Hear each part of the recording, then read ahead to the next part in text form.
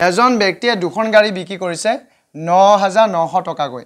এখন বিক্ৰী কৰোঁতে টেন পাৰ্চেণ্ট লছ হ'ল আন এখন বিক্ৰী কৰোঁতে টেন পাৰ্চেণ্ট প্ৰফিট হ'ল। প্ৰথমখনত প্ৰফিট হৈছে দ্বিতীয়খনত লছ হৈছে। প্ৰত্যেকখনতে ন হাজাৰ নশকৈ বিক্ৰী কৰিছে। প্ৰত্যেকখনতে ন হাজাৰ নশকৈ বিক্ৰী কৰিছে।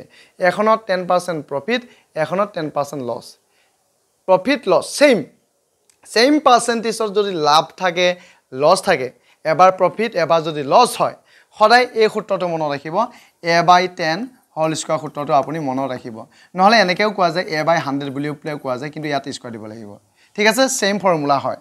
এতিয়া এই যে এ মানটো কোনটো হ'ব? পাৰ্চেণ্টেজৰ মানটো হয়।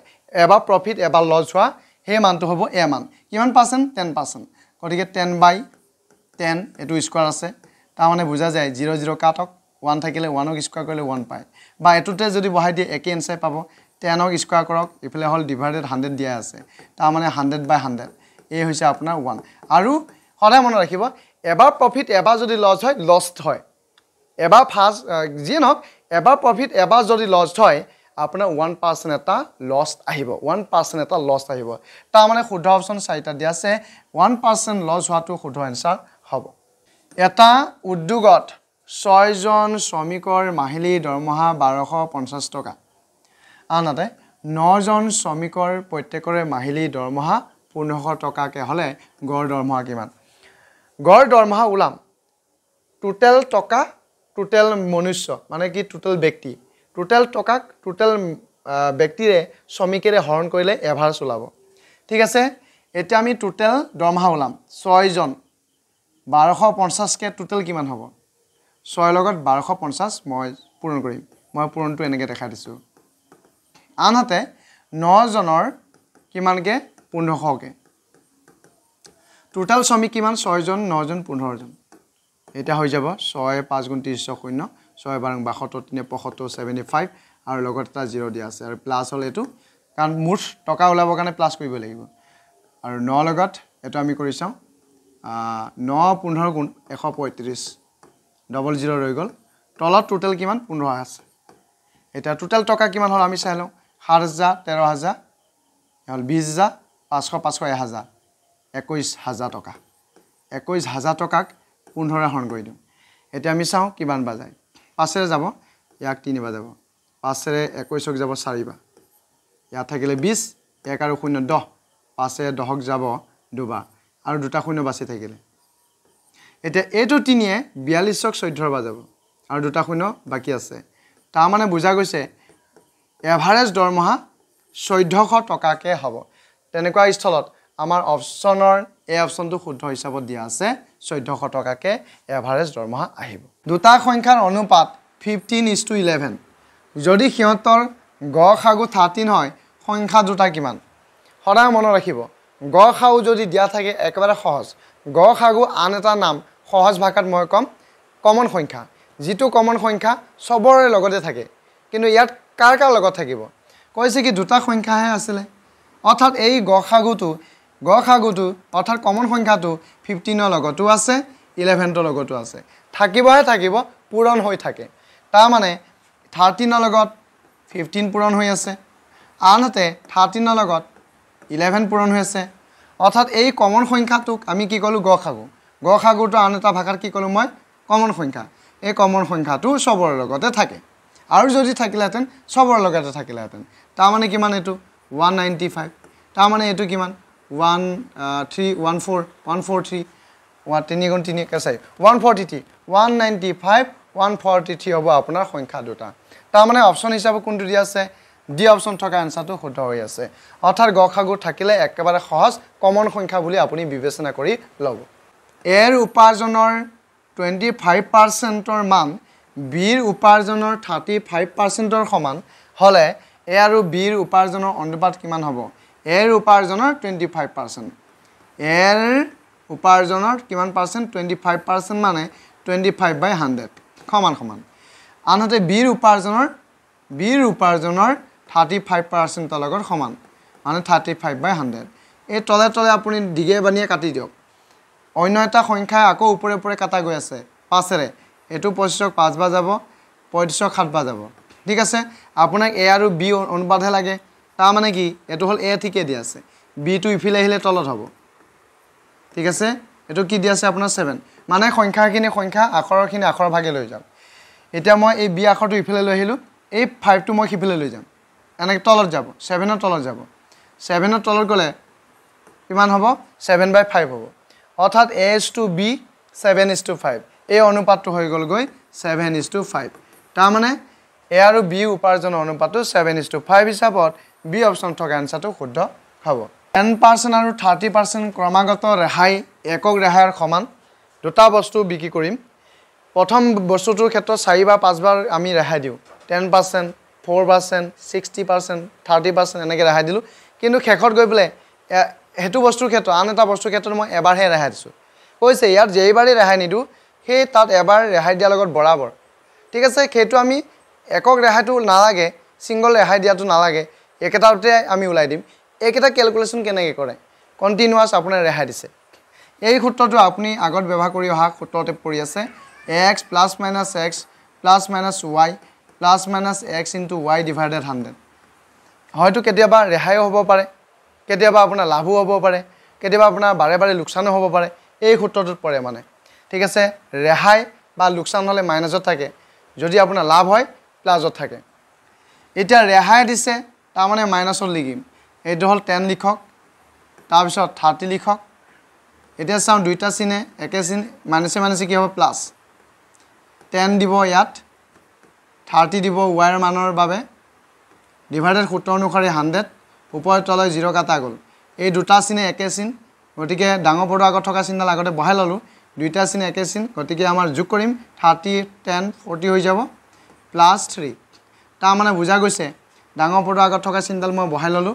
দুইটা চিনে বেলেগ বেলেগ চিন গতিকে বিয়োগ কৰিম ফৰ্টি পাৰ থ্ৰী গ'লে থাৰ্টি ছেভেন পাৰ্চেণ্ট আপোনাৰ এটা ৰেহাই আহিব।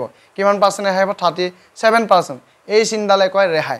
থাৰ্টি ছেভেন পাৰ্চেণ্ট হিচাপত চাৰি নম্বৰ অপশ্যনত থকা এনচাৰটো শুদ্ধ হ'ব থাৰ্টি ছেভেন পাৰ্চেণ্ট ৰেহাই আহিছিল পাঁচটা ল'ৰাৰ উচ্চতা চেণ্টিমিটাৰ হিচাপত one forty one thirty five one forty two one thirty eight one forty দিয়া আছে সিহঁতৰ গড় উচ্চতা কিমান ঠিক আছে গড় উচ্চতা ওলাম বাৰু কিন্তু আমি প্ৰথমতে যিয়ে নহওক এভাৰেজ ওলাব যাওঁতে গড় ওলাব যাওঁতে গোটেই নাম্বাৰবিলাক যোগ কৰিব লাগে সেই হিচাপে যোগ কৰি দিয়ক জিৰ' আঠ আঠ আঠে দুয়ে দহ দহ পাঁচে পোন্ধৰ পোন্ধৰ শূন্য পোন্ধৰই হ'ব পোন্ধৰ পাঁচ সাতে হ'লে এক চাৰি চাৰি তিনিয়ে সাত সাতে চাৰি এঘাৰ এঘাৰ তিনি হ'ল চৈধ্য চৈধ্য চাৰি ওঠৰ ঊনৈছশ ন আমাৰ হাতত থাকিল পুনৰ এক। একে একে দুই দুয়ে একে তিনি একে চাৰি চাৰি একে পাঁচ পাঁচ একে ছয় ছিক্স নাইন ফাইভ। এতিয়া কথা হৈছে কি কেইজন ল'ৰাৰ এভাৰেজ লাগে? আপোনাৰ পাঁচজন ল'ৰাৰ এভাৰেজ লাগে। গতিকে আপুনি পাঁচজন ল'ৰাৰ টোটেল নাম্বাৰে হৰণ কৰিব লাগিব। অৰ্থাৎ ফাইভেৰে হৰণ কৰিব লাগিব। অৰ্থাৎ ফাইভেৰে হৰণ কৰাৰ পিছত কিমান পাব? লাগিলে ছাইডতে কৰি পেলাই দেখাই দি আছোঁ। আপোনাৰ পাঁচজন ল'ৰাৰ এভাৰেজ ছিক্স নাইন ফাইভ দিয়া আছে। পাঁচে আগ এবাৰ যাব পাঁচ নামিব ওৱান নাইন পাঁচ তিনি গুণ পোন্ধৰ ইয়াত ফাইভ ওৱান ফাইভ আহিব চাৰি নামিব। এইটো হ'ল পুনৰ বা পাঁচ আহি গ'ল। পাঁচ ন গুণ পঞ্চল্লিছ ফৰ্টি ফাইভ মিলি যাব। তাৰমানে এভাৰেজ হিচাপত ওৱান থাৰ্টি নাইন এনচাৰ আহিব। ওৱান থাৰ্টি নাইন এভাৰেজ আহিব পাঁচজন ল'ৰাৰ উচ্চতাৰ পৰা। চি অপশ্যনটো হ'ব আপোনাৰ শুদ্ধ এনচাৰ প্ৰথম শ্ৰেণীৰ পৰা পঞ্চম শ্ৰেণীলৈ ছাত্ৰৰ গড় হ'ল টুৱেণ্টি নাইন প্ৰথম শ্ৰেণীৰ পৰা পঞ্চম শ্ৰেণীলৈ টোটেল কেইটা শ্ৰেণী? পাঁচটা শ্ৰেণী। অৰ্থাৎ সেই পাঁচটা শ্ৰেণীৰ এভাৰেজ দিয়া আছে টুৱেণ্টি নাইন হিচাপত। অৰ্থাৎ আমি পূৰণ কৰোঁ পাঁচ ন গুণ পঞ্চল্লিছৰ পাঁচ আমাৰ হাতত থাকিল চাৰি পাঁচ দুগুণ দহ চাৰি চৈধ্য ওৱান ফৰ্টি ফাইভ পাঁচটা শ্ৰেণীৰ টুৱেণ্টি নাইনকৈ এভাৰেজ হ'ল ওৱান ফৰ্টি ফাইভ তাৰপিছত কৈছে কি প্ৰথম শ্ৰেণীৰ পৰা তৃতীয় শ্ৰেণীলৈ গড় হ'ল থাৰ্টি ওৱান ক'ৰ পৰা? প্ৰথম শ্ৰেণীৰ পৰা ক্লাছ থ্ৰীলৈ তেতিয়াহ'লে কেইটা শ্ৰেণী হ'ল? তিনিটা শ্ৰেণী হ'ল। তিনিটা শ্ৰেণীৰে এভাৰেজ থাৰ্টি ওৱান তাৰমানে কি তিনি এগুণ তিনি তিনি তিনি গুণ ন। এতিয়া সুধিছে লাষ্ট টাইম যে চতুৰ্থ শ্ৰেণীৰ পৰা পঞ্চম শ্ৰেণীলৈ গড় কিমান হ'ব? চতুৰ্থৰ পৰা পঞ্চমলৈ দুটা শ্ৰেণী বুলি ক'লে। দুটা শ্ৰেণীৰ গড় কিমান হ'ব সেইটো সুধিছে। তাৰ আগত আমি এইখিনি বিয়োগ কৰি লওঁ। পাঁচৰ পৰা তিনি গ'লে দুই চৈধ্যৰ পৰা ন গ'লে পাঁচ ফিফটি টু দুটা শ্ৰেণীৰ এভাৰেজ সুধিছেতো গতিকে দুইৰে হৰণ কৰি দিওঁ। টুৱেণ্টি ছিক্স এনচাৰ পাম অৰ্থাৎ চতুৰ্থ শ্ৰেণীৰ পৰা ক্লাছ ফ'ৰৰ পৰা ক্লাছ ফাইভলৈ এভাৰেজ আহিব দুটা শ্ৰেণীৰ এভাৰেজ আহিব টুৱেণ্টি ছিক্স অৰ্থাৎ বি নম্বৰ অপশ্যনত থকা এনচাৰটো শুদ্ধ হ'ব। গৰিমাই এখন শাৰী দুশ চল্লিছ টকাত কিনি পিছত এশ সাতচল্লিছ টকাত বিক্ৰী কৰি দিলে। তেওঁৰ লোকচান শতকৰা কিমান হ'ব উলিয়াব লাগিব। কিনিছে দুশ চল্লিছ টকাত আৰু বিক্ৰী কৰিছে এশ সাতচল্লিছ টকাত। এতিয়া কমত বিক্ৰী কৰিলে তাৰমানে কি লোকচান এটা হ'ল আৰু। এতিয়া লোকচান কিমান হ'ল আমি চাই ল'ম। চাওঁ বিক্ৰী কৰিলে গম পাই যাম দহৰ পৰা সাত গ'লে তিনি টকা। এইটো হ'ল তেৰ তিনি থাকিলে তেৰৰ পৰা চাৰি ন। নাইণ্টি থ্ৰী ৰুপিজ এটা আপোনাৰ লোকচান হৈছে। তো লাভ বা লোকচান সদায় কিনা দামৰ ওপৰত ভিত্তি কৰে। এতিয়া কিনা দামটো কিমান টকাত কিনিছিলে আপুনি? টু ফৰ্টি ৰুপিছত কিনিছিলে। এইটো হ'ল টু ফৰ্টি ৰুপিছত কিনিছিলে। মই দি দিলোঁ। আৰু পাৰ্চেণ্টেজ ওলাব লাগে গতিকে আপুনি হাণ্ড্ৰেড এটা দিবই লাগিব। আৰু পাৰ্চেণ্টেজ চিন্তাল দিব লাগে। ওপৰে তলত জিৰ' জিৰ' কাটা গ'লে। আৰু কাটা যাব। দুয়ে কাটা যাব। দহক পাঁচ বা চৌবিছক যাব বাৰ বাৰ। আৰু কাটা যাব তিনিয়ে কাটা যাব বাৰক যাব চাৰি বা নাইণ্টি থ্ৰীক যাব একত্ৰিছ বা কিহেৰে কাটিলোঁ? তিনিৰে কাটিলোঁ। তো থাৰ্টি ওৱানৰ লগত এই ওপৰৰ ফাইভটো পূৰণ কৰি দিলে আপোনাৰ এটা আহিব পাঁচ তিনি গুণ পোন্ধৰ ওৱান ফাইভ আৰু পাঁচ এগুণ পাঁচ। তলত ফ'ৰ চাৰিয়ে যেতিয়া নেকি ডিভাইড কৰা যাব কিমান এনচাৰ আহিব গম পোৱা গৈছেই ওৱান ফাইভ ফাইভ তাৰমানে এইটো তিনিবাৰ গ'লে চাৰি তিনি গুণ বাৰ আহিব পোন্ধৰ বাৰ তিনি আকৌ পাঁচ আহিব। পাঁচ চাৰি আঠ গুণ বত্ৰিছ। তো আমাৰ দেখা যায় এতিয়া ইমানখিনিলৈকে দূৰলৈকে চিন্তা কৰিব নালাগে। এইটোতো বত্ৰিছ ওলাইছে বাৰু আৰু তাৰ তলত নামিব। থাৰ্টি এইট আৰু কিবা কিবা হ'ব। এতিয়া থাৰ্টি এইট কিবা ইয়াত এনচাৰ পাইছে ক'তো নাই। তাৰমানে কি ডি অপশ্যনটো শুদ্ধ হ'ব। ওপৰে এটাও নহয়। ঠিক আছে এনেধৰণৰ কুৱেশ্যন কাটে গতিকে আমি এইটোকৈ জানি ল'ব লাগে। এজন মানুহে সাতাইছ টকাত বস্তু এটা কিনি দহ শতাংশ লাভ কৰি বেছি দিলে। তেওঁ বিক্ৰীৰ দাম কিমান হ'ব? টেন পাৰ্চেণ্ট লাভ আছে আৰু কিনা দাম আছে বিক্ৰী দাম ওলাব লাগে। তো বিক্ৰী দাম ওলাব পৰা আমি সূত্ৰটো আমি বহুতেই বহুতেই শিকিব পাৰিছোঁ বৰ্তমান। তো ঠিক আছে বিক্ৰী দামৰ ক্ষেত্ৰত লাভ বা লোকচান ওপৰত হয় দেই। কিনা দাম ওলাব দিলে লাভ বা লোকচান তলত দিব লাগে শতকৰাটো পাৰ্চেণ্টেজটো এতিয়া আমাৰ পাৰ্চেণ্টেজ লাভৰ পাৰ্চেণ্টেজ যি আছে চেলিং প্ৰাইজৰ ক্ষেত্ৰত ওপৰত লিখিব লাগে। এতিয়া দহ শতাংশ লাভ হৈছে এশ টকা দহ টকা লাভ হৈছে। তাৰমানে কি? দহ টকা আৰু এশ টকাটো পকেটত সোমাই গ'ল এশ দহ টকা। তাৰ অপজিতে হাণ্ড্ৰেড এটা সূত্ৰমতে দিব লাগে। এইটো আপোনাৰ কি বিক্ৰী দাম যদি হৈছে এইটো আপোনাৰ কিনা দাম হ'ব। কিনিছিলে কেইটকাত সাতাইছ টকাত তেওঁ ওপৰত তলে জিৰ' এটা জিৰ' এটা কাটি দিলোঁ। এতিয়া এইটো আপোনাৰ হাতত থাকিলে ইলেভেন এইটো আছে আপোনাৰ টুৱেণ্টি ছেভেন। ইলেভেন ইলেভেনটোৰ লগত পূৰণ কৰাটো একেবাৰে সহজ কথা। সাতাইছৰ লগত ইলেভেন মই ইলেভেন নিলিখোৱেই সাতাইছক লিখিম কিন্তু দূৰে দূৰে লিখিম। এতিয়া এই দুটাক মই যোগ কৰি দিম। দুয়ে সাতে কিমান ন? তলৰ কিমান আছে? দহ। মই এবাৰ দেখাই দিছোঁ বস্তু এটা আছে ইয়াত। এই তলৰ জিৰ' কাটিলে ওপৰত জিৰ' কাটিব পৰা আমাৰ মানে হেৰি নাই জিৰ' নাই। তলৰ জিৰ' ওপৰ জিৰ' কাটিব পৰা ব্যৱস্থা নাই। যাৰ কাৰণে তলৰ জিৰ' কাটা গ'লে ওপৰত এঘাৰ আগত দশমিক আহিব। মানে টুৱেণ্টি নাইন পইণ্ট ছেভেন হিচাপত আপোনাৰ এনচাৰ শুদ্ধ এনচাৰ হিচাপত এই অপশ্যন থকা এনচাৰটো শুদ্ধ হ'ব। এই ধৰণে কেতিয়াবিলাক শিকি থাকিব লাগে। এ বি আৰু চিৰ মাজত five is to six is to seven অনুপাতত কোনো এটা মূলধনক ভাগ কৰা হ'ল। এইটো খুব ইম্পৰ্টেণ্ট কুৱেশ্যন ভালদৰে চাই যাব। যদি এৰ ভাগত এশ পঞ্চাছ টকা পৰিলে তেনেকুৱাৰ ক্ষেত্ৰত মুঠ মূলধন কিমান আছিলে? এৰ টকাটো দিয়া আছে ডেৰশ টকা। বি আৰু চি টকাটো ওলাব পাৰিলে গোটেইকেইটা যোগ কৰি দিম টোটেল টকা হৈ যাব। মূলধনটোহে ওলাব লাগে। ঠিক আছে। এতিয়া মই এৰ যি টকা দি আছে ডেৰশ টকা এইটো হয় প্ৰদত্ত টকা। এই প্ৰদত্ত টকা কাৰ আছিলে? এৰ টকা। অৰ্থাৎ এৰ অংশ হিচাপত কেইটা অংশ? পাঁচটা অংশ। পাঁচেৰে আপোনাৰ এই যি এৰ টকা আছে সেই টকাটোক মই হৰণ কৰি দিম। পাঁচে ডেৰশক কেইবাৰ যাব? ত্ৰিছবাৰ যাব। ত্ৰিছটো এটা সমানুপাতিক মান। এই সমানুপাতিক মানটো সৈতে লৈ বি আৰু চি টকাটো উলিয়াই লওঁ এ টকাটো ডেৰশ টকা দিয়াই আছে। এতিয়া আপোনাৰ সমানুপাতিক মান থাৰ্টিক লৈ বি আৰু চি টকাটো ওলাই লওঁ বিৰ ভাগ আছিলে ছয়। ছটা ভাগ লৈছিলে। ত্ৰিছ টকাকৈ এশ আশী টকা পাব। আনহাতে চিলৈকে আহিছোঁ। চি ভাগ সাতটা ত্ৰিছ টকাকৈ এই হৈ যাব দুশ দহ টকা। আৰু এ ভাগটো কিমান আছিলে টোটেল এশ পঞ্চাছ টকা। এশ পঞ্চাছ টকা। টোটেল যোগ কৰি দিয়ক আপোনাৰ টোটেল টকা ওলাব। জিৰ' জিৰ' জিৰ' আঠ ন পাঁচ চৈধ্য চাৰি একে দুয়ে তিনি একে চাৰি একে পাঁচ। পাঁচশ চল্লিছ টকা হ'ব আপোনাৰ টোটেল মূলধন যাৰ ওপৰত সিহঁতে five six seven is to অনুপাতত সিহঁতে ভাগ কৰি কৰি লৈছিলে। কোনোবাই পাঁচটা ভাগ ছটা ভাগ সাতটা ভাগ। ঠিক আছে? মুঠ টকা কিমান পালে? পাঁচশ চল্লিছ টকা। পাঁচশ চল্লিছ টকা হিচাপত ডি অপশ্যন থকা এনচাৰটো শুদ্ধ হ'ব। বাপেক আৰু পুতেকৰ বয়সৰ অনুপাত হৈছে টু ইজ টু ওৱান দহ বছৰ আগে তেওঁলোকৰ বয়সৰ অনুপাত আছিলে ফাইভ ইজ টু টু পুতেকৰ বৰ্তমান বয়স কিমান? ইয়াত বৰ্তমান দুটা ৱৰ্ড দি আছে। পুতেকৰ বৰ্তমানটো ওলাবতো দিছে বাৰু ঠিকে আছে। বৰ্তমান বয়সৰ অনুপাত টু ইজ টু ওৱান এইটো টুটো কোন? বাপেক। আৰু ওৱানটো কোন? পুতেক। টু ইজ টু ওৱান বাপেক পুতেক এইটো বাপেকটো হৈছে দুগুণ পুতেকটো হৈছে এগুণ। বঢ়িয়া। এতিয়া কৈছে কি পুতেকৰ বৰ্তমান বয়স হ'ল এইকেইটাৰ ভিতৰত কোনোবা এটা। পুতেকটো হৈছে এগুণ। একে কৈ আছে যে এগুণ। দুই এটা পূৰণ কৰি দিলে বাপেক হ'ব কাৰণ বাপেকটো হৈছে দুগুণ। ঠিক আছে মই বাপেকটো ওলাই দি আছোঁ। যেতিয়া নেকি দুই এটা পূৰণ কৰি দিয়া যায় ই হৈ যাব চল্লিছ ফৰ্টি। পঁচিছত যদি দুই এটা পূৰণ কৰি দিয়া যায় হৈ যাব পঞ্চাছ ফিফটি। থাৰ্টিত যদি দুই পূৰণ কৰি দিয়া যায় হৈ যাব ছিক্সটি। থাৰ্টি টুত যদি দুই এটা পূৰণ কৰি দিয়া যায় হৈ যাব ছিক্সটি ফ'ৰ। দুই কিয় পূৰণ কৰি আছোঁ? কাৰণ বাপেক হৈছে টু পুতেক হৈছে one two is to one এতিয়া আমাৰ কামখিনি প্ৰথম চৰ্তটো চাফা হৈ গ'ল। এতিয়া দহ বছৰৰ ঘটনালৈকে হৈ যাওঁ। দহ বছৰৰ আগত দহ বছৰৰ আগত মানে আপোনাৰ মোৰ বয়স সদায় কমি আছিলে। এইটো হ'ল বাপেক এইটো হ'ল পুতেক এইটো হ'ল বাপেক এইটো হ'ল পুতেক। বাপেকৰ পৰা দহ বছৰ কমাই দিলে হৈ গ'ল আপোনাৰ হাতত থাকিলে কিমান থাৰ্টি। আনহাতে এইটোৰ পৰা যদি দহ বি কৰি দিওঁ হৈ যাব ফৰ্টি পটাপট কৰিব পাৰি এইটো ফিফটি এইটো হৈ যাব আপোনাৰ ফিফটি ফ'ৰ এইটো পৰা আমি দহ দহ বি কৰি দিওঁ এইটো হৈ যাব আপোনাৰ দহ। এইটো হৈ যাব পোন্ধৰ। এইটো হৈ যাব টুৱেণ্টি এইটো হৈ যাব আপোনাৰ টুৱেণ্টি টু এতিয়া চাওক কৈছে কি দহ বছৰ আগত অনুপাতটো আছিলে ফাইভ ইজ টু টু এতিয়া এই যে পালে দহ বছৰ দহ বছৰ বিয়োগ কৰি পেলাই এইটো পালে আনহাতে এইটো পালে। ফাইভ ইজ টু টু পাবৰ কাৰণে আপুনি কোনটো মান ব্যৱহাৰ কৰিব? A B C D five is to two পাবৰ কাৰণে। এইটো মান স্পষ্ট হৈয়ে থকা নাইনে এইটো জিৰ' এইটো জিৰ' কাটি দিয়ক। ফাইভ ইজ টু টু পোৱা গৈছেনে বোলে গৈছে? তাৰমানে কি? এই চি অপশ্যনটো শুদ্ধ হ'ব। কাৰ বয়স এইটো? পুতেকৰ বয়স। যদি এনেকৈ নকৰে এক্স ৱাই জেড ধৰি পেলাই কৰিব লগা আছে। আৰু ৱাই ধৰি পেলাই কৰে তেতিয়াহ'লে এনেকৈ ধৰি পেলাই কৰিব।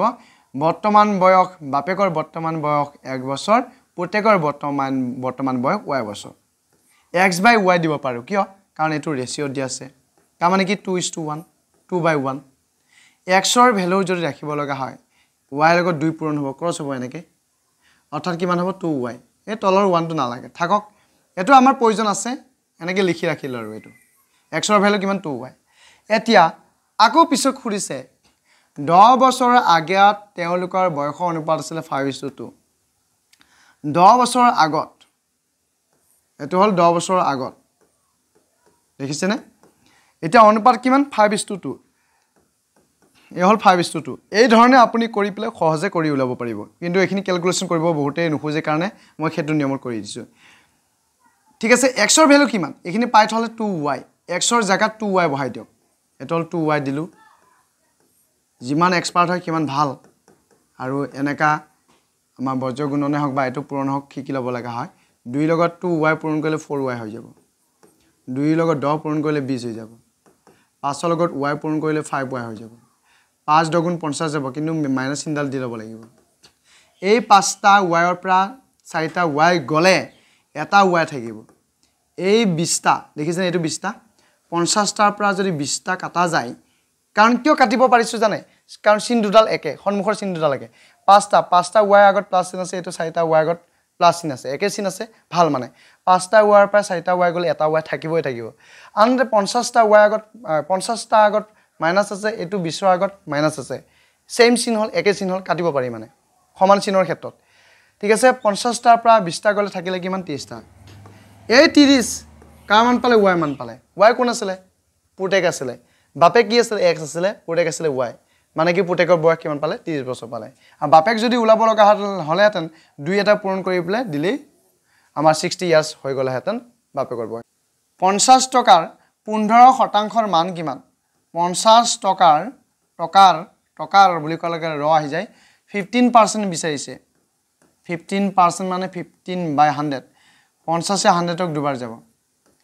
দুই তলত থকা মানে ওপৰৰ সংখ্যাটোক আধা বুলি কয়। পোন্ধৰ আধা কিমান? চাৰে সাত। ছেভেন পইণ্ট ফাইভ হ'ব আপোনাৰ শুদ্ধ এনচাৰ ছেভেন পইণ্ট ফাইভ টকাই হওক যিয়ে নহওক ডি অপশ্যন থকা এনচাৰটো শুদ্ধ হ'ব। লাষ্টৰ জিৰ' নাই জিৰ' এশটা দিব পাৰে। ঠিক আছে ডি অপশ্যনটো হ'ব আপোনাৰ শুদ্ধ এনচাৰ দহ বছৰত ছয় শতাংশ হাৰত এশ বিছ টকা সৰল সুত হ'লে মূলধন কিমান? যেতিয়া নেকি আপোনাক মূলধন ওলাব দিব I into hundred divided R T সদায় ব্যৱহাৰ কৰি থাকিলে এইটো সহজে মনত থাকে। পি ইকুৱেল টু মূলধন দেই P principal amount one one নহয় I into hundred by R T I means interest simple interest interest কিমান দি আছে? এশ বিছ টকা দিয়া আছে ওৱান টুৱেণ্টি হাণ্ড্ৰেড ঠিকে দিয়া আছে। ৰেটটো দিয়া আছে আপোনাৰ ছিক্স পাৰ্চেণ্ট টাইম দি আছে আপোনাৰ সেইটো দহ বছৰ। ওপৰত তলাই জিৰ' জিৰ' কাটাই গৈছে এটা জিৰ' এটা জিৰ' ছয়ে বাৰক দুবাৰ যাব। ঠিক আছে? এই দুই এগুণ কিমান হ'ল দুই? আমাৰ দুটা শূন্য বাচি আছে। অৰ্থাৎ মূলধন হিচাপে দুশ টকা এটা আহিব। মূলধন হিচাপে কিমান টকা আহিব? দুশ টকা। সহজ কথা সহজ অপশ্যন সহজ আমাৰ অংক এনেধৰণে কৰিব পাৰি। পাঁচ হাজাৰ টকাৰ পাঁচ বছৰৰ টেন পাৰ্চেণ্ট সুতৰ হাৰত সৰল সুত কিমান হ'ব সেইটো সুধিছে। মূলধন উলিওৱা সৰল সুত উলিওৱা কেতিয়াবা সুতৰ হাৰ উলিয়াবৰ কাৰণেও দিয়ে। গতিকে এইটো আমি ইণ্টাৰেষ্টৰ সুতৰ যিটো আছিলে P R T by hundred মনত যদি ৰৈ গৈছে আপুনি P R T by hundred লিখিবই নালাগে। ডাইৰেক্ট পি মান আপুনি ইয়াৰ পৰা আনি পেলাই ডাইৰেক্ট পাতি দিয়ক। এনেকৈ হান ফাইভ থাউজেণ্ড পাতি দিয়ক। ৰেট টেন পাৰ্চেণ্ট টাইম হৈছে পাঁচ বছৰ তলত সূত্ৰ অনুসৰি হাণ্ড্ৰেড ওপৰে তলে কাটি দিয়ক। মানে কি পাঁচ পাঁচ গুণ পঁচিছ। শূন্য বাচি থাকিলে এক দুই তিনিটা। অৰ্থাৎ পঁচিছশ টকা আপোনাৰ ইণ্টাৰেষ্ট পাব। পঁচিছশ টকা ইণ্টাৰেষ্ট চি অপশ্যন থকা এনচাৰটো শুদ্ধ হ'ব। কেইবছৰ খটাইছে? পাঁচ বছৰ খটাইছে। কেই কেই হাজাৰ টকা? পাঁচ হাজাৰ টকা। এটা শ্ৰেণীৰ ছিক্সটিগৰাকী ছাত্ৰ ছাত্ৰীৰ টুৱেণ্টিগৰাকী হ'ল ছাত্ৰী। ষাঠিগৰাকী ছাত্ৰ ছাত্ৰী আছে বিছগৰাকী ছাত্ৰী আছে। ছাত্ৰ ছাত্ৰীৰ ভিতৰত বিছগৰাকী ছাত্ৰী আছে।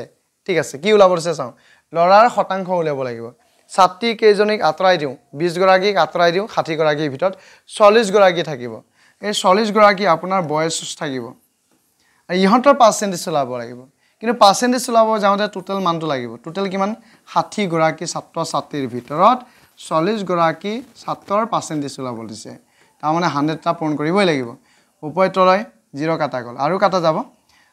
দুয়ে যাব ছয়ক তিনিবাৰ দুয়ে যাব দহক পাঁচবাৰ এতিয়া আমি চাওঁ এইখিনি কেলকুলেট কৰি পেলাই। চাৰি পাঁচ গুণ কিমান? বিছ বিছ পালোঁ এটা জিৰ' ৰৈ আছে। এই হ'ল টু হাণ্ড্ৰেড তলত আছে থ্ৰী তিনিয়ে দুশ কেইবাৰ যায়। আপুনি কৰি চাব। এনেকৈতো কৰিব পাৰি ডাইৰেক্ট কৰিব পাৰি। তিনি ছয় গুণ ওঠৰ। বিছৰ পৰা ওঠৰ গ'লে দুই আৰু এটা শূন্য নামি গ'ল। আকৌ পুনৰ ছয় আকৌ ওঠৰ ওঠৰ। তেওঁ বিছৰ পৰা ওঠৰ গ'লে দুই থাকিলে। দুয়ক নাযায় তিনিয়ে। দশমিক দিলে এটা জিৰ' আহিব টুৱেণ্টি। পুনৰ ছয়বাৰ যাব। এনেকৈ গৈ থাকিব আৰু এইখন কাহিনী বহুতখিনি হৈ যাব। ইয়াত বহুতবাৰ গৈ থাকিব পাৰি। তাৰমানে কি এই ছিক্সক ইমান ছিক্স নিলিখি ছেভেন এটা কৰি পেলাই থৈ দিব পাৰি। পাঁচ বা পাঁচতকৈ ডাঙৰ সংখ্যা থাকিলে দশমিকৰ পিছৰ সংখ্যাটো কোনোবা এঠাইত কি কৰি দিব পাৰি? এক এটা বহাই কৰি পেলাই থৈ দিব পাৰি। Sixty six point seven percent হিচাপত আপোনাৰ এনচাৰ আহিব। Sixty six point seven percent তেওঁ এনচাৰ চিটৰ এনচাৰ চালে দেখা যায় চি অপশ্যনত থকা এনচাৰটো শুদ্ধ হৈ আছে। দহ টকাৰ দামৰ বস্তু এটা চাৰে বাৰ টকাত বিক্ৰী কৰিলে দাম কিমান শতাংশ বৃদ্ধি পাব? দহ টকাত সদায় বিক্ৰী কৰি থকা বস্তু এটা আজি চাৰে বাৰ টকাত বিক্ৰী কৰি দিছে। তেতিয়াহ'লে কিমান টকা বৃদ্ধি পালে? দহ টকাত বিক্ৰী কৰে আজি চাৰে বাৰ টকাত বিক্ৰী কৰি দিলে। তেতিয়াহ'লে আপুনি বস্তুটো আঢ়ৈ টকা এটা বঢ়াই দিয়া নাই জানো? ঠিক আছে তাৰে শতাংশ ওলাব লাগিব। এতিয়া শতাংশ ওলাব যাওঁতে আমি সদায় মূল মান যিটো আছিলে প্ৰথম অৱস্থাত দহ টকা সেই দহ টকাটো লিখিব লাগিব। পাৰ্চেণ্টেজ উলিয়াব লাগিব তাৰ কাৰণে হাণ্ড্ৰেড পূৰণ কৰিব লাগিব। তো ওপৰে তলৈ জিৰ' কাটি কাটা গ'ল। এতিয়া চাওঁ পঁচিছৰ লগত এইটো দশমিক নাই বুলি ধৰি লওক। পঁচিছৰ লগত এক পূৰণ কৰিলে পঁচিছ হয়। এই জিৰ'টো দিয়া নাছিলে দি দিয়ক। এঘৰ আগত দশমিক হিচাপ কৰিলে দশমিকটো ইয়াত পৰিব। তাৰমানে কি? দশমিক জিৰ' কাটা যাব দশমিকৰ পিছত জিৰ' নালাগে টুৱেণ্টি ফাইভ হ'ব আপোনাৰ এনচাৰ তাৰমানে বৃদ্ধি হ'ল কিমান? পঁচিছ শতাংশ বৃদ্ধি হ'ল। এইটো শতাংশত লিখিব লাগিব। পঁচিছ শতাংশ হিচাপত বি অপশ্যন থকা এনচাৰটো শুদ্ধ হ'ব। ভগ্নাংশ এটা সমতুল্য মান কি হ'ব? যেতিয়া টু বাই ফাইভ পাৰ্চেণ্টেজ এটা দিয়া আছে। মানে টু বাই ফাইভ পাৰ্চেণ্টেজ দিয়া আছে ইয়াক ভাঙি চিঙি কিবা কৰি আপুনি এটা ভগ্নাংশত লিখিব লাগিব। ইয়াত ভগ্নাংশ কোনটোৰ লগত? সমতুল্য হ'ব। ইয়াত পাৰ্চেণ্টেজত দিয়া আছে পাৰ্চেণ্টেজ নোহোৱা কৰিব লাগিব। ঠিক আছে? তো এনেও এটা কথা কি ধৰি লৈছোঁ টুক আমি পাৰ্চেণ্টেজলৈকে নিব লাগে। পাৰ্চেণ্টেজলৈকে নিব হ'লে হাণ্ড্ৰেড পূৰণ কৰিব লাগে নহয় জানো? হাণ্ড্ৰেড পূৰণ কৰিব লাগে। যিকোনো সংখ্যাক পাৰ্চেণ্টেজত প্ৰকাশ কৰা হাণ্ড্ৰেড পূৰণ কৰিব লাগে। এতিয়া পাৰ্চেণ্টেজত দিয়া আছে। তেতিয়াহ'লে হাণ্ড্ৰেডেৰে হৰণ কৰিব লাগিব। তাৰ অৰ্থ হৈছে টু বাই ফাইভ আছেই আমি হাণ্ড্ৰেডেৰে হৰণ কৰিছোঁ। নাই বুলিওতো তলত এটা ওৱান আছে আপোনালোকক দেখাবৰ কাৰণে মই দিলোঁ। ঠিক আছে টু বাই ফাইভ যেনেকৈ আছে তেনেকৈ লিখি দিয়ক। এই যে হৰণ চিন এইডালক পূৰণ বনালে এইটো ৰিচিপকেল হয় উল্টা হৈ যায়। ওৱানটো ওপৰত যাব হাণ্ড্ৰেডটো তলত আহিব। ওৱান বাই হাণ্ড্ৰেড হৈ যাব। তাৰমানে দুয়ে হাণ্ড্ৰেডক যাব পঞ্চাছ বাৰ। ওপৰত কিমান থাকিলে বাকী চাওক এটা এক থাকিলে। তলত কিমান আছে? পাঁচ পাঁচ গুণ পঁচিছ আৰু শূন্য। পঁচিছ আৰু শূন্য আঢ়ৈশ। Two one by two five zero' হিচাপত আপোনাৰ এই ভগ্নাংশটো আহিব। One by two five zero' হিচাপত এনচাৰ চিটো এনচাৰ চি অপশ্যনটো শুদ্ধ হৈ আছে আৰু হ'ব। ন মিটাৰ কাপোৰৰ দাম তিনিশ ষাঠি টকা হ'লে বাৰ মিটাৰ কাপোৰৰ দাম কিমান? আপোনাক দাম সুধিছে। প্ৰশ্নত যিটো দাম আছে সেইটোক আপুনি চিনাক্তকৰণ কৰি লওক। মানে কি চিনাকি এটা হৈ লওক তিনিশ ষাঠি টকা। এইটো এটা দাম হয়নে নহয়? যিটো ওলাব দিছে সেইটোক আপুনি নাকাটিবই নাকাটিবই। তিনিশ ষাঠি টকা কিহৰ কাৰণে লৈছিলে? ন মিটাৰ কাপোৰত লৈছিলে। তাৰ বিপৰীতে লিখিব। আৰু যিটো বাকী থাকিলে বাৰ মিটাৰ ইয়াৰ বিপৰীতে দিব। এতিয়া চাওঁ নয়ে ছয়ত্ৰিছক চাৰিবাৰ গ'ল। চাৰিৰ লগত বাৰ পূৰণ কৰিলে আঠচল্লিছ হ'ব। আৰু এটা জিৰ' ৰৈ গ'ল। চাৰিশ আশী টকা পৰিব আপোনাৰ বাৰ মিটাৰ কাপোৰৰ দাম। তাৰ হিচাপত এই অপশ্যনটো হ'ব শুদ্ধ এনচাৰ বাৰ মিটাৰ কাপোৰৰ দাম। বস্তু এটা তিনিশ আঠষষ্ঠি টকাত বিক্ৰী কৰোঁতে আঠ পাৰ্চেণ্ট এটা লোকচান হ'ল। বস্তুটোত দহ শতাংশ লাভ কৰিবলৈ হ'লে বিক্ৰীৰ দাম কিমান হ'ব লাগিব? বস্তুটোক দুবাৰ বিক্ৰী কৰিছে এবাৰ লছ হৈছে বিক্ৰী কৰিব যাওঁতে আন এবাৰ বিক্ৰী কৰিব কিন্তু লাভ লৈহে এৰিব। সেই লাভটো কিমান হ'ব লাগিব? Ten percent. কি ওলাব লাগে? বিক্ৰী দাম। দুয়োটাও কিন্তু বিক্ৰী দামে। ঠিক আছে? এই হ'ল চেলিং প্ৰাইচ চেলিং প্ৰাইচ ওলাব লাগে। চেলিং প্ৰাইচৰ ক্ষেত্ৰত লাভ বা লোকচান ওপৰত হ'ব লাগে। কিমান টকাত বিক্ৰী কৰিব যে টেন পাৰ্চেণ্ট লাভ হয়? এতিয়া বিক্ৰী দাম ওলাব গৈছোঁ লাভ বা লোকচান ওপৰত দিব। টেন পাৰ্চেণ্ট মানে এশ টকাত দহ টকা এটা লাভ হ'ল। পকেটত এশ দহ টকা ভৰিল তাৰ এগেইনষ্টে যিটো পাৰ্চেণ্টেজ প্ৰথমতে পাইছিলে সেই পাৰ্চেণ্টেজ তলত দিব। তাৰমানে কি এইট পাৰ্চেণ্ট লোকচান। এশ টকাত যদি আঠ টকা লোকচান হয় নাইণ্টি টু ৰুপিজ এটা বাকী থাকিব পকেটত থাকিব। এইটো চেলিং প্ৰাইচ এইটো সচৰাচৰ কষ্ট প্ৰাইচ হ'ব লাগে। নাই আপুনি কষ্ট প্ৰাইচ এইটো দিব নালাগে। কাৰণ এইটো বেলেগ ধৰণৰ কিটিবত গৈ আছে। যিটো আপোনাৰ বিক্ৰী দি আছিলে তিনিশ আঠষষ্ঠি টকা প্ৰথমত সেই বিক্ৰীটো আপুনি ইয়াত দিব। এতিয়া চাওঁ নাইণ্টি টুৱে থ্ৰী ছিক্সটি এইটক ডাইৰেক্ট চাৰিবাৰ গৈ আছে। চাৰি দুগুণ আঠ চাৰি নগুণ ছয়ত্ৰিছ। এতিয়া থাকিলে চাৰি লগত এঘাৰ ফ'ৰ ফ'ৰ আৰু লগত এটা জিৰ' আছে। চাৰিশ চল্লিছ টকাত বস্তুটো বিক্ৰী কৰিব লাগিব। টেন পাৰ্চেণ্ট লাভ হ'ব কাৰণে। তাৰমানে শুদ্ধ এনচাৰ চি অপশ্যন থকা এনচাৰটোৱে শুদ্ধ হয়।